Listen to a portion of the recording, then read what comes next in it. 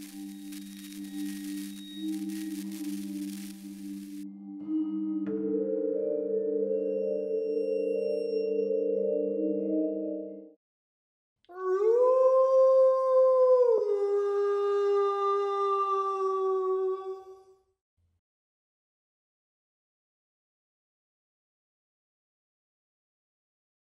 Guys, what's up? It is Doug and welcome to Spooky Villages and today we are going to talk about an accessory.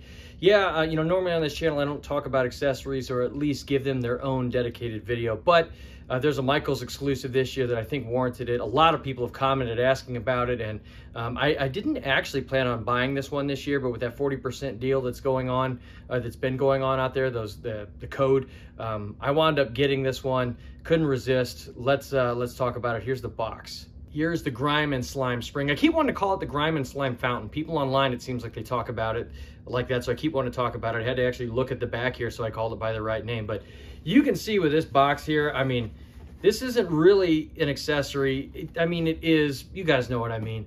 Um, it's bigger than your average accessory, and it's, uh, frankly, uh, some of the stuff going on here is more than some of the houses even that they've had as far as the standard lit. So let's show you what it looks like. So here it is, guys. Check this one out. Um, comes with this battery box here, so you can put double A's in it, or you can run a power adapter right over here. That's actually what I'm doing. I tested it out and it works fine with the batteries too. I know with accessories, a lot of times people do like running the batteries versus the houses. Um, so before I actually show you what this looks like lit up here, um, I actually got this for the 40% off coupon plus I had Michael's rewards for $25. So all things, uh, you know, out the door, I got it for like $11. I, I could not resist it for that. So check this out. Look at this, guys. It's a very spooky fountain. Uh, it's this skull here that's basically, you know, I mean, it's a fountain, but it looks like it's puking like toxic waste, something like that. Uh, you've got the back here is a brick facade. The front, very heavy metal style piece on this one. But you've got the details here is like a lizard, a big snake here. And you've got this dude sitting here that looks like he's just kind of drinking grog. Um, I don't really know what that's about per se. I think this would have actually looked cooler if it was just the fountain without the dude here because it works for more themes that way, but uh, looks pretty cool nonetheless here. Again, it's big, uh, you know, large for an accessory. So now there's no sound on this, but let's show you what it looks like lit up. The lighting on this is stellar. Uh, the way it looks like it's kind of that running water, that cascading LED, they, they really did a good job with this as far as the lighting goes. And I got to tell you that seeing this lit up, I think I saw it lit up in like a Facebook group or something because my local Michaels actually did not have it running.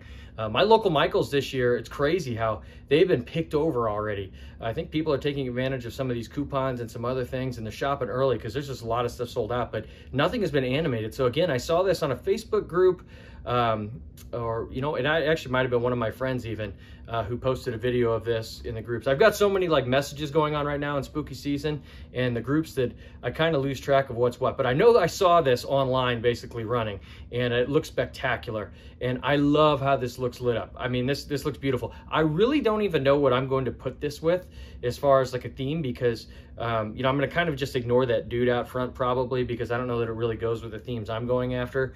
Um, but it looks great, you know, in spite of that. Uh, I, I, think it'll theme well with different things. You just kind of can ignore that. Now, of course, if he goes with your theme, it's not a negative, but that's just my opinion on it, just personally, because otherwise I think it's almost a perfect little accessory piece. So it's a Michaels exclusive this year, and you know, it seems like every few years Michaels does an exclusive that is absolutely top notch.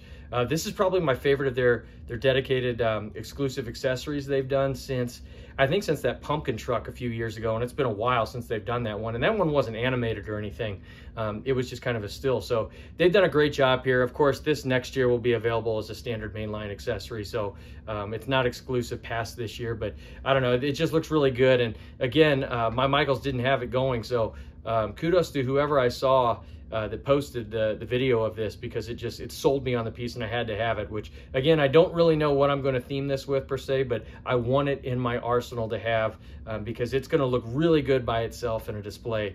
Um, you know it really stands out. I don't think the lighting is garish or anything on it. Um, I think there's just enough here because that skull also it's got the red lights on the skull uh, it just looks scary it's a very scary looking piece and uh, it's macabre kind of silly also the way it looks like the skull is like uh, you know vomiting that um, the toxic waste or the green water. My kids love this one. They laugh at it, but they also think it's scary. So uh, I think that's one of the sweet spots for Lemax Spooky Town to be is when they have that scary, but also you know, a little bit silly, uh, a little bit outlandish. I, I really dig it.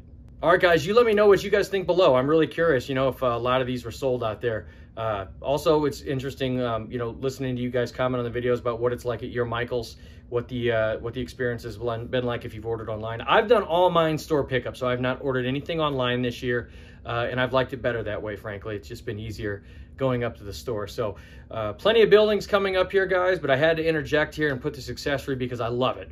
And again, after I got it with uh, the big 40% off coupon and all those Michaels rewards, I can't beat it for $11. That's what I got it for personally. So uh, thank you guys for watching.